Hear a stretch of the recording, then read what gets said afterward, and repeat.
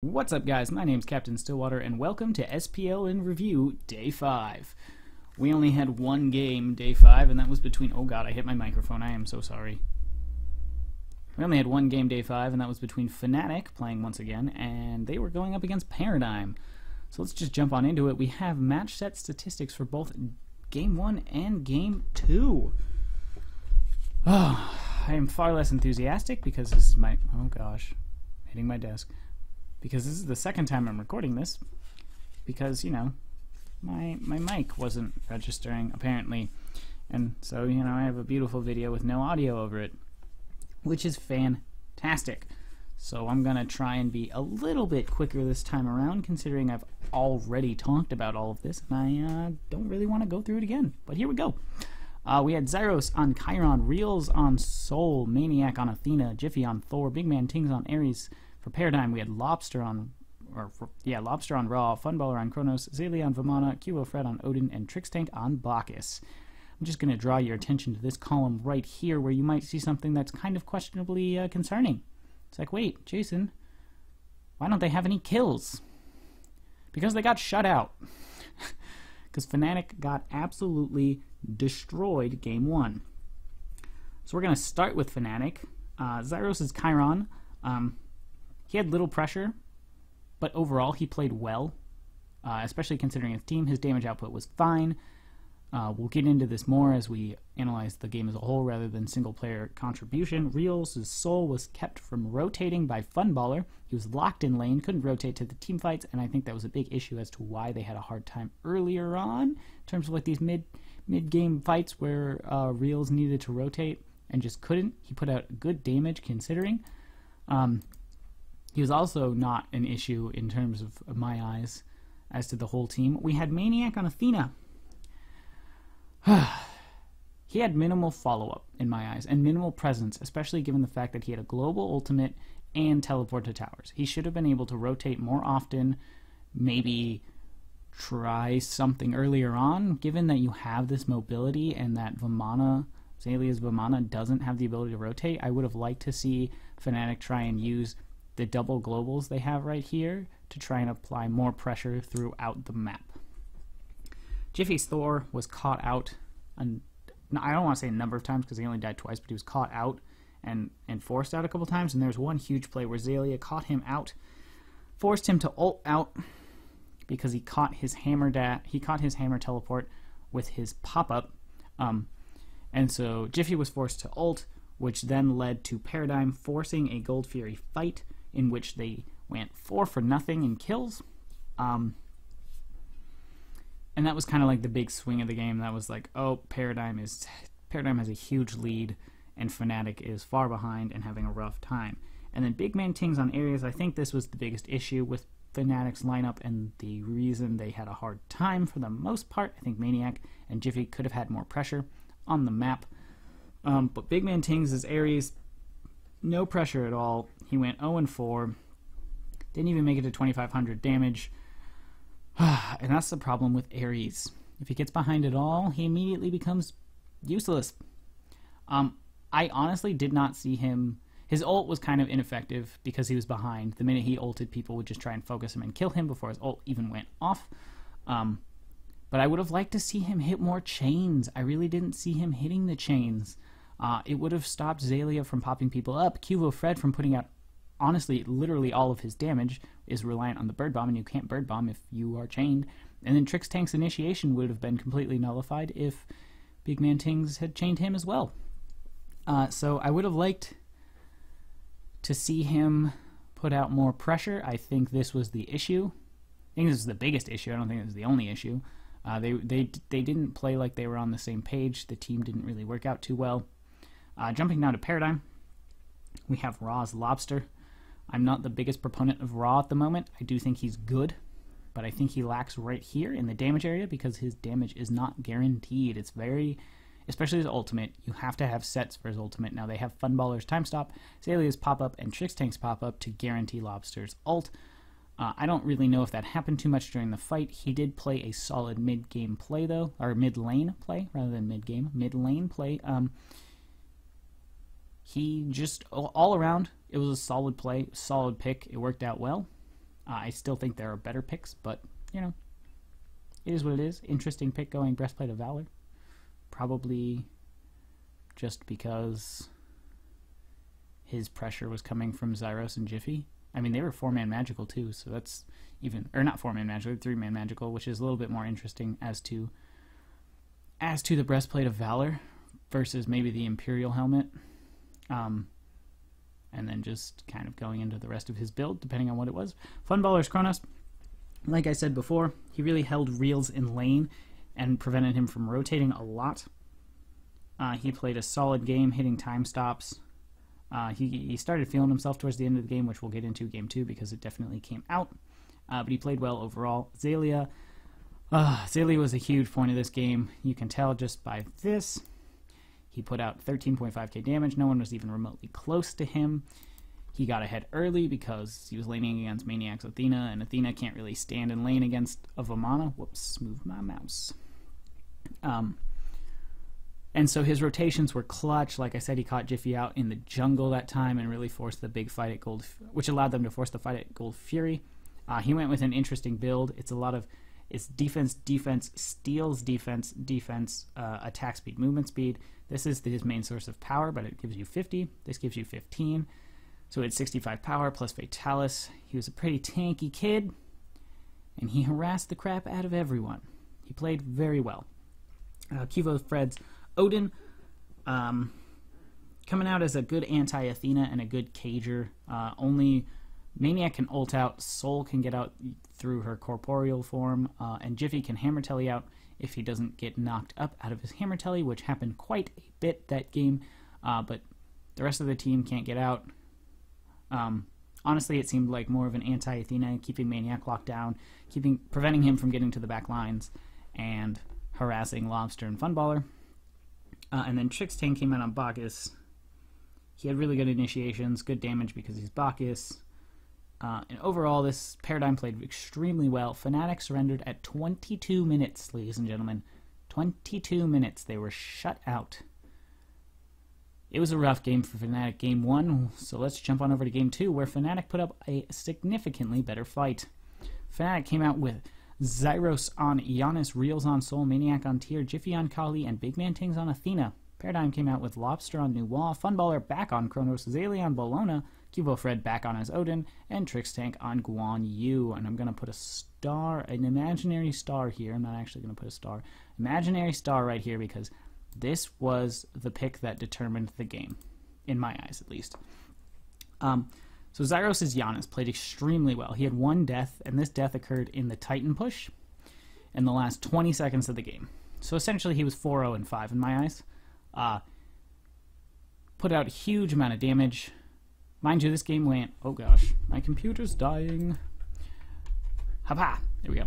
Um, mind you, this game went like 53, 59 minutes, something like that. As you can probably tell by builds. I mean, look at Reels' build: Rod of Tahuti, Obi Shard, Spear of Deso, uh, Pen Boots, uh, Doom Orb, and Soul Reaver. Stupid amount of damage, stupid expensive builds, uh, just because they had the ability to afford them. Um, but back to Janus, great pick. He played really well, portaling his team in and out. Um, he also had the hot steal on that Gold Fury. What? Uh, Paradigm showed their weaknesses in Game 2, in mainly that their objective play is really poor.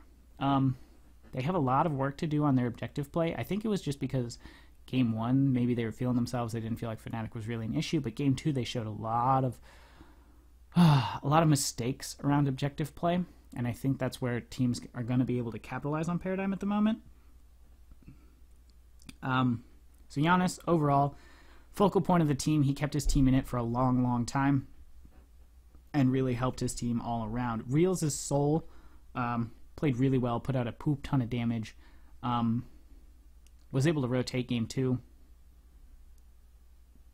I there's not really much else to say. He played well. He put out he put out his damage as he needed to. He wasn't really caught out. Uh, Maniac's Tyr. Um, he had some really big fearless combos, and and that was great and all. But it seemed like he was tanking a little too much. uh, to try and get his fearless combos off. Like he would be like running into a tower, taking like a significant number of tower shots before he was able to get his fearless off and actually hit the somebody he wanted to hit. Uh, in my eyes, it was a little weak in that sense. He was one of two people to buy anti healing, but he bought it in pestilence, so the anti healing's not irrelevant, but very minimal.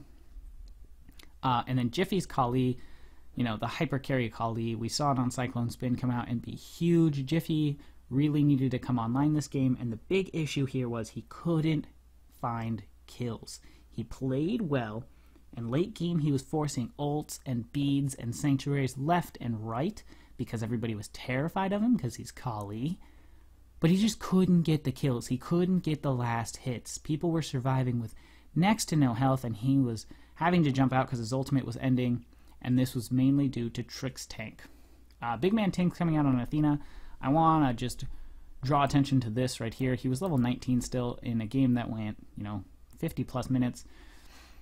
That shouldn't be the case. As well, he was only involved in 11 instances of kills. Uh, so he barely got his urchin stacked, which he bought second item. So it's kind of an issue. Uh, but overall, he played well. He had a really good. He had like really good sets during the mid game and in mid lane. Uh, he just I don't know, he just had good sets. And then late game, he was doing what he needed to do, burn relics, forcing people to beads. Funballer was playing really, really aggressive, and Big Man Tings was just forcing him to have to beads and then run away, which would cause Funballer to have to sit back in the team fights, which was a big issue for Paradigm. Jumping down to Paradigm, Lobster coming out doing 39.3k damage in a 50 plus minute game. Nuwa, you know, puts on the hurt with the fire shards raining down with that much damage behind them, they could swing fights. Uh, he played really well, um, and he had really, really just his, main contribution was just his damage output. He was caught out a little bit, but not much. He played really well considering uh, peel for him wasn't really a thing until Cubo Fred started defensively ulting and Trixtank focused on keeping people alive. Fun baller he played well, but he played way too over aggressive late game, getting caught out a lot. You can see that in his slash line and his damage. He should have probably had more damage than that, but he couldn't get into the fights a lot because he'd be over aggressing um, during like the warding phase where like you're fighting for vision control over an objective, and he would get caught out by Big Man Tings or by Jiffy or by Maniac, and he'd have to beads and he'd have to run away, and then he wouldn't be able to be in the fights because he his beads were down and he would just get focused out. So, big issues there. but with that said, he had some amazingly lucky and good resets. Like, we're talking, his resets would go off and he'd have like 10 health left. Like 10 actual like actually 10 HP. Like it was ridiculous. This man dodged death more times than he should have. Uh, Zelius Bellona. Um, comboed really well with Odin and Guan Yu. This is I'm really going to talk about all three of these guys at the same time because they were just kind of one unit. They they fought and rotated and did everything as a unit. Um, I question the Nemean Lion pickup. It was mostly it was okay. It was entirely for Jiffy. Like Maniac's basic attacks aren't going to do much. Reels is whatever. He's really focusing on the Stellar Burst at that point. Uh, Zyros is just shotgunning, big man tings. Like this is mainly for Kali, and I don't know if it was the best pickup for Kali. I think Midgardian Mail might have been a little bit stronger, uh, considering he's running Fatalis, but he's not. You have the ability to slow him, and he does not have the ability to get out of that slow. Um, so maybe not Nemean Lion, but I don't. It's not the worst pickup. It's really not that bad in my eyes.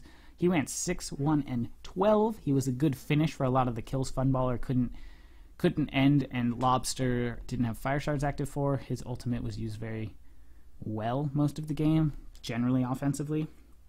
Uh, Cubo Fred, whew, uh, he was a great anti-Athena this game, really locking Big Man Tings down. I think that's why you saw Big Man Tings go 0 5 and not make it to level 20 is he was constantly getting Odin ringed and he'd have to ult out and then that's kind of them forcing the Athena ult for nothing because Odin's ult comes back every every 30 seconds at the end of the game, which is kind of stupid. Um, overall, just good play.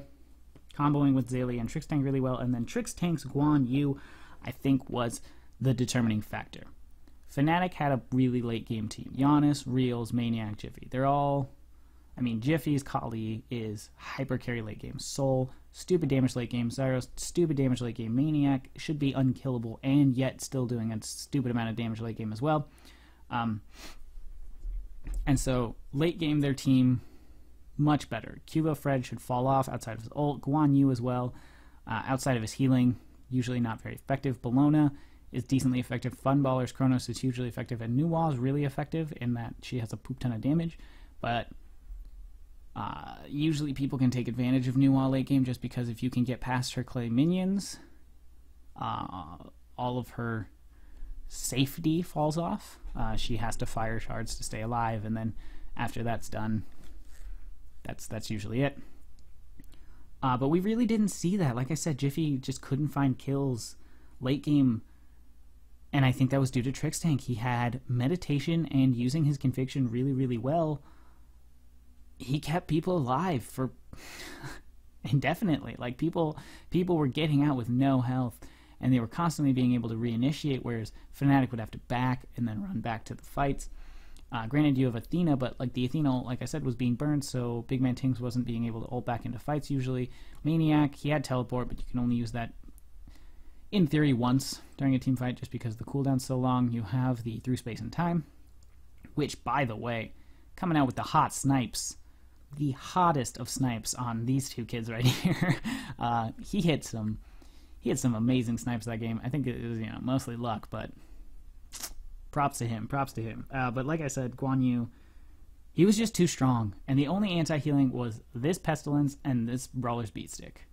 And so Kali, Jiffy was going in with Kali, and he couldn't finish the kills, and he even had the anti healing, but it's I don't think it's his fault. Like we should have seen a weakening curse. We may, we probably should have seen a divine ruin come out. Like where's the anti-healing? Like Guan Yu was the problem. Like he was just keeping people alive. He healed a stupid. I remember the uh, I forget who was announcing. I think it was Hindu Man and Adonis this game, and they were constantly going back and looking at player uh, player healing because Trixtank's healing was like enormous he essentially negated. I'm I'm pretty sure at the end of this game he did approximately this much player healing. So essentially, the way you should look at it is Maniac did no damage, and not not like against Maniac being like, oh no, Maniac, you know you didn't perform well. Like no no no no. Like in terms of their damage output, you can essentially negate all of the damage Maniac did.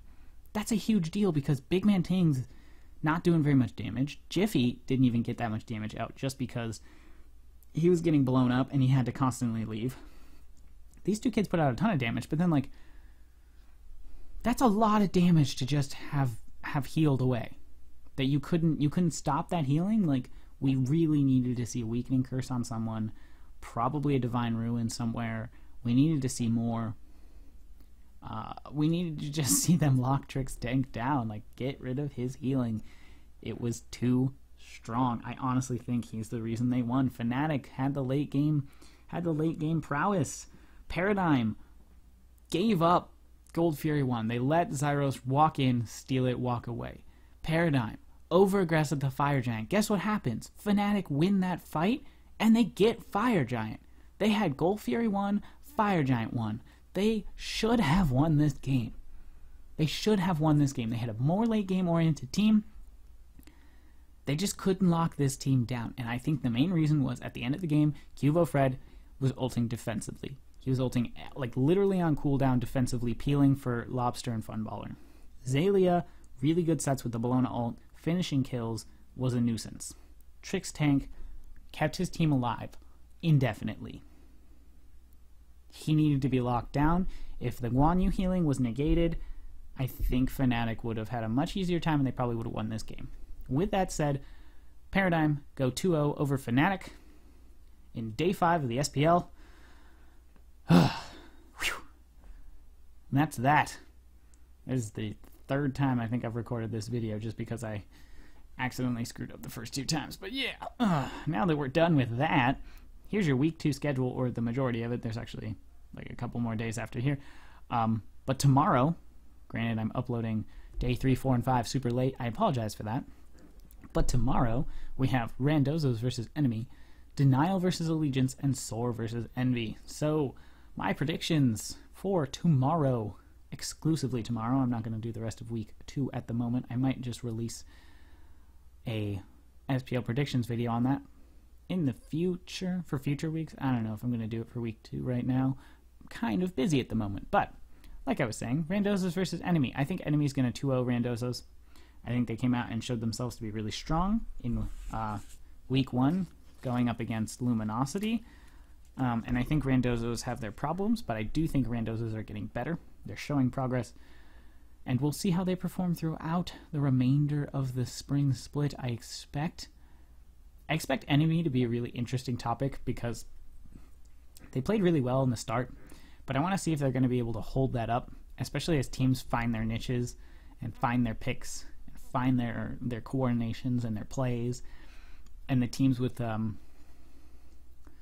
more experienced players might, you know, surface to the top.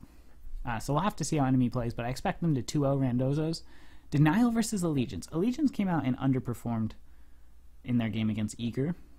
Um, I expected more of a showing from them. They looked much weaker than they did during relegations. Denial, however, came out and looked pretty strong. But this one's tough for me. I'm leaning more towards split. It's either denial 2-0ing allegiance or a split. That's what I'm assuming. If I mean if allegiance 2-0s them then I guess I know nothing about this freaking league. But I just I don't know. I don't see allegiance coming out and 2-0ing denial. I am leaning more towards split at the moment. And that gets us to game three. Game three is going to be really interesting. It's Soar, which is Baskin's team, going up against Envy, which is the um, the team Masked is now on with Hujima Hujimawat's um, Cyclone Spin, Kiki So Cheeky, Omega, and MLC Stealth. So I, Soar's gonna be good, but I think Envy's gonna win this series. I think Envy's gonna 2-0 Soar. Maybe it'll be a split, but I'm leaning far more towards Envy because I think they're going to be super strong. A lot of eyes are going to be on this game in my mind because Mast is replacing Eonic, and Eonic played his butt off against Eager. And so it's going to be really interesting because I do think, you know, Eonic and Mast are both very good. Eonic's now the sub. I believe he's officially the sub. We don't actually see him listed here as a sub, so maybe uh, maybe he's moving, but I doubt it at the moment. um, so Mast is really he's got shoes to fill already. So it's going to be interesting to see Cyclone Spin being awarded the first pentakill of the SPL already on Kali. Uh, man had like three opportunities for it, so it's going to be interesting. Kiki so cheeky, generally passive guardian. Omega, arguably. I mean, this is going to be the duel of the solo lane. You're going to see Baskin versus Omega, which is the top two solo laners in North America at least competing, and then you got MLC Stealth, one of my favorite players to watch. Um, you saw his Nuwa play, which was stupid good. I wish I could play Nuwa like that. Man hits so many basic attacks, it's ridiculous. He uses the passive so well. So I think Envious versus Soar is going to be a really interesting game to watch. So I hope you guys tune in to the week to week two's games. If you're not really sure you're going to be able to catch them all, I would lean more towards this game. If you're going to watch one, just because I think this game is going to be really, really interesting to see these two powerhouse teams come together and see how they play. Um, maybe it won't be. Maybe the other games will be far more interesting. We'll have to wait and see. If you guys enjoyed the video, be sure to like, comment, subscribe, all that fun stuff, and I will see you all next time.